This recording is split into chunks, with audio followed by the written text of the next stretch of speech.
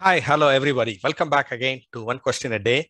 The question that we are going to discuss today is a very important question from exam point of view. What is the theories of tooth eruption? Begin the answer by saying what a tooth eruption, what a tooth eruption is. It is a functional movement of a functional physiological movement of the tooth, or the tooth germ, newly formed tooth from its place of formation within the bony crypt into the place of function along the occlusal plane. There are four most commonly accepted theory. They are the bone remodeling theory, root formation theory, vascular pressure theory, periodontal ligament traction theory. Bone remodeling theory says that once the tooth starts to form, after a, the crown is completed, there is an inherent, because the length of the root tooth becomes bigger, there is a selective resorption and deposition happening underneath the developing tooth germ that pushes the tooth above or towards the occlusal plane.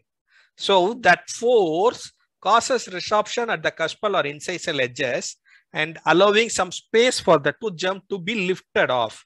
Subsequently, when more and more root part is being deposited, the cycle continues till that point, till the root completion uh, completes. The dental follicle is required in a proper position to achieve the bone remodeling and tooth eruption. Right?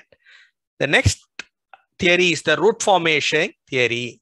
This believes that the proliferating root works on a or exerts a apically directed force that is reversed by the presence of an occlus, a sling that is called as cushion hammock. Hence, this theory is also called as cushion hammock ligament theory. People believe that there is an existence of a cushion hammock ligament below the developing tooth germ and the proliferating root or developing root impinges on this fixed base and when it reaches a critical mass, it is propelled or apically directed force through a apically directed force this pushes the tooth to a eruption and that sling is believed to be the cushion hammock ligament by certain people. And certain people believe that to be the gubernacular cord. Whatever the thing both the theories unite in the fact that there is a occlusal movement directed by this cushion hammock ligament or the uh, gubernacular cord. The next most important theory is the vascular pressure theory. This indicates that there is a local increase in blood pressure at the apical region, which with every pulsation cause a minor small movement occlusally of the tooth.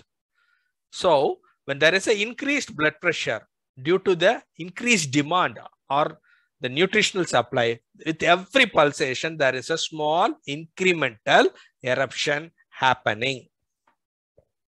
The periodontal ligament traction theory says that the cells and fibers of periodontal ligament possesses certain contractile force and the tooth movement is initiated and brought about by this fibroblast condyle practice with a specialized uh, area or attachment of collagen fibers called as fibronexus with the material called as fibronectin.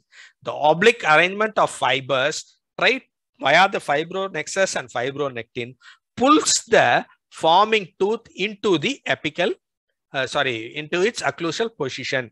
This is the most accepted theory. This by itself can be a short notes.